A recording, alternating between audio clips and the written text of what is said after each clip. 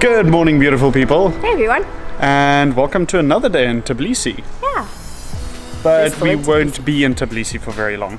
Look, today we're going to go on a tour to the Kakheti region. Hmm.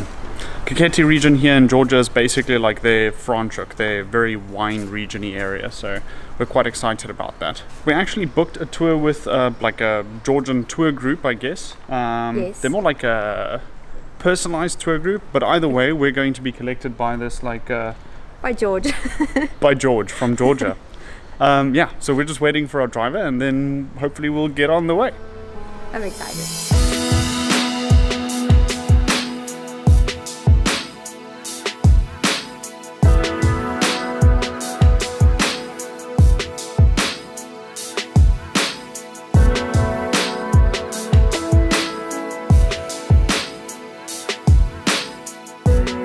So our guide just brought us to this awesome monastery, which is in the Kakheti region. I think that's how you pronounce it. Um, and this is the David Gareji Monastery. It's a Christian monastery that started in the sixth century by a dude named David. And um, yeah, it's really kind of amazing. They unfortunately didn't have any water nearby. There was basically no water sources, so they came up with an ingenious way to actually harvest water. The cliff has got these striations, and they actually use the striations to harvest not only rainwater but like dew and So morning dew. yeah, and even just like wet, misty days, like anything like that, and collected it in a cistern and pumped it around.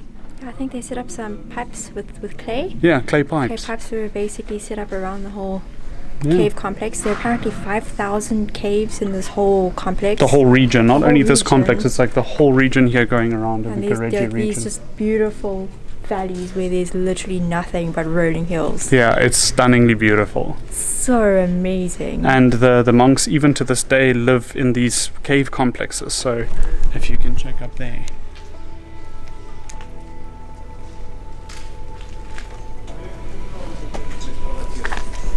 Yeah, it's no hobbit hole, but I think it's a close second.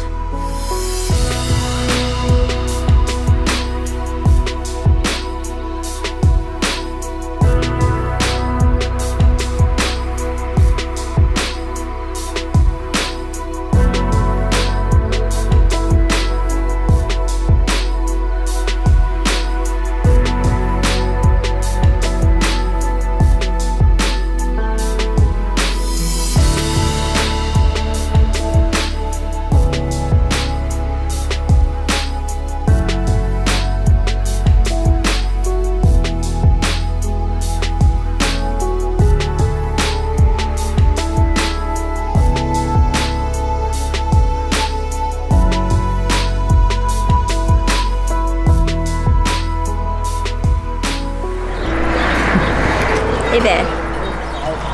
And we made it to our next stop. We're just stopping at a, a hostel restaurant in a, in a little town called Udabno. Uh, we're just gonna grab a beer, grab some lunch, and then have a good time. We just obviously left the monastery, and it was just absolutely spectacular. So cool. It's crazy to see how a bunch of monks basically just chiseled out stones to make steps and living Yeah. quarters and everything. It's kind of crazy. Yeah, so they first started at the city and then they came all the way here into the middle of Which is like an hour and a half drive. Yeah, so, I mean, walking from Tbilisi must be insane. And then then- building here—it's crazy. they found the caves and sat there building a you know A whole monastery.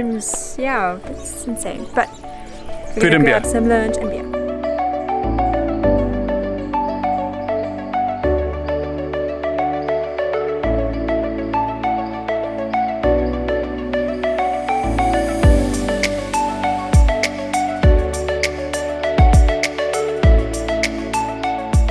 George recommended that we try this salsi here, which is like another traditional Georgian dish. Yeah. What do you call that? Yeah. Oh, it's like a stew. Yeah, stew. Really uh, nice. It's like a beef stew. uh, Obviously some potatoes. herbs, and tomato. Oh, delicious. And then we've got a uh, khachapuri here, but this one is with a little bit of tarragon, so it's like slightly different. Yeah, instead of tarragon, in the old time it was uh, wheat. So I hope, like recently, uh, three days ago, we legalized weed, So I hope. Oh, is this it only three days ago? Yeah. tr- uh, Wow. This, uh, this tradition will will be renewed. Will be will be renewed. Yeah. like we'll have weed and not little cakes again. Well, I'm gonna grab one. Anyway, we're gonna dig in. I'm hungry. Yes. That was really good. Yeah, we have that on good authority that that was like really, really um, authentic khachapuri, and it was when you go on absolutely delicious. Yeah, I really think tarragon is becoming my newfound When? favorite thing. It's so good. Ah, Yeah, anyway, now that we're filled up again and uh, beard up again, Yes, as always. we're going to take another two hour drive to our next destination. I'm not really quite sure where that is, but we're going to show you once we get there.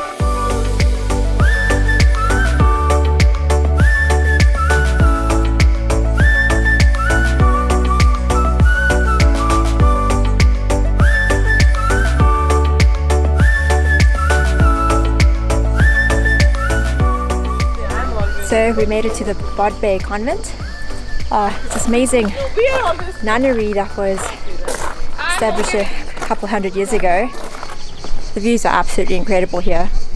And Jannie has taken the opportunity to get out the drone. He's gonna get a wonderful view of the complex. This is why I just grabbed you guys, just to have a quick look around. Uh, we basically have really cool bell tower over there. That's one of the oldest buildings in this complex. Um, that is a new church.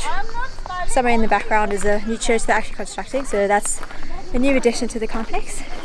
And on the other side, across the wall by the absolutely amazing balcony, is not only a beautiful garden but the valley just going as far as the eye can see.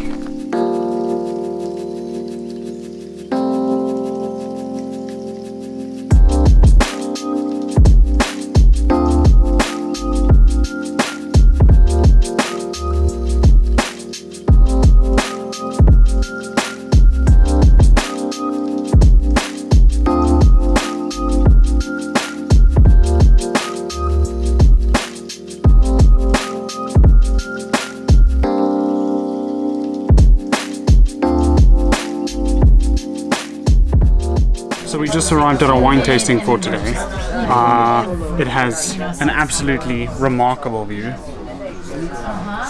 Pretty insane. But yeah, it's time for us to try some of the um, traditional method of winemaking. Apparently, Georgia started making wine around about 8,000 years ago. They've discovered evidence of it, like in clay pots, and they still use the same method today. Instead of using wooden barrels to effectively ferment and like mature the wine, they use clay pots, which is apparently different. They use amphoras. We've got some delicious breads with what looks like either melted butter or very, very weird olive oil or oil. But we're gonna give it a shot. Let's see what it's like. Just a correction. That is actually sunflower oil, like homemade, Homemade unfiltered. sunflower. It's really good. And our first wine arrived. it's just it's so good, but it's so different from any white wine I've ever had. Um, it's got like a deep, luxurious character. Um, and as Jannie describes, it's not acidic at all. It's just it's very interesting. It's really good.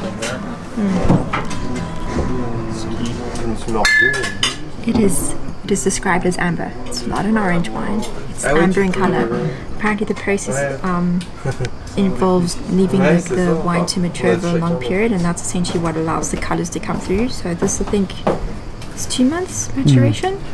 So that gives ample time for that beautiful amber color to develop. It's so so beautiful. It's so unique. I've never seen an amber wine before.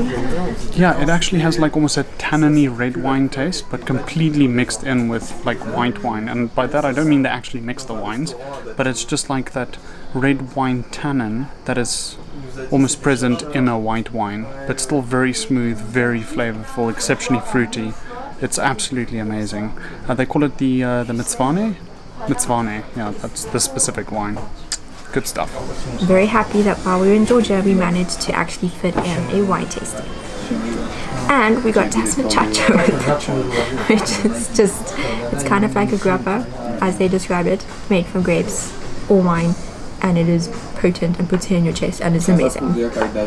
So the cha-cha we just had, I mean they serve it in like tiny little shot glasses, but uh, the cha-cha we just had is about like 65% alcohol content, which is like more than whiskey, so it's pretty potent. But still really tasty, it's good stuff, not bad at all.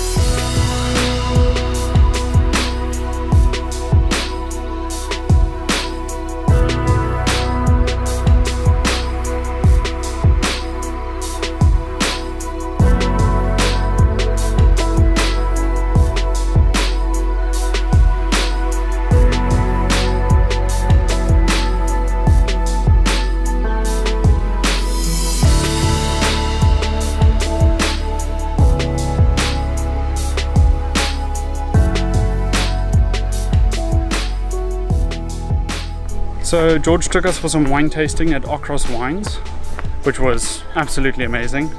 If you're ever in Georgia, try some cha-cha. Try lots of cha-cha. It's even better. Um, but after that, we went to go see the uh, the walls here in Signagi, which is uh, like pretty much. Apparently, the walls were built before this town on the hill. Usually, you would obviously have a settlement, and then they'd build the walls afterwards. Here, it was actually built in the exact opposite order. They started with a wall uh, because there were so many Persian invasions this far up, so to speak. Uh, they decided to try to rebuff that. So if there's any kind of imminent attack, they would just pull all the villagers back up the hill and uh, fortified the hill with some walls. And then after time, the town just kind of like popped up behind the walls, which is just amazing. It's uh, they call it the the city of love, and if the Parisians are offended by that, then we call it the town of love. But uh, it's really beautiful. It's really quite something to come and see. Um, but yeah, that's uh, I think that's pretty much the uh, the little town of Signagi for us for today. But it's just such a little merry town. People are just out having such a good time. It's awesome, man. Shh, I don't know. Oh my goodness, it is late. It was still an awesome day though. Yeah, that was like when they say a day trip, they mean a day trip. I mean, we started at nine and we literally ended at nine. Yeah, Like five to nine. It is. 12 hours. Yeah, so long day, but it's absolutely worth it. The Kakheti region is absolutely stunning. Yeah, it's amazing. Yeah, and George, our tour guide or operator, whatever you want to call him, is really awesome, super so much hospitable. fun, Yeah. So informative. Just Mm. just generally awesome. Thanks, George. If you're watching this, George, you're a great dude. We really love the tour. Thank you so much for taking us around. It was great. But Mm. that brings us to the end of this day because I need to just fall down now. Yes, it's definitely time to fall down. Um, I think we need to like rinse off the day, so get a shower and then get into bed. So very happy we could take you guys along with us today. Hmm. It was fun. Stay awesome. And we'll see you next time.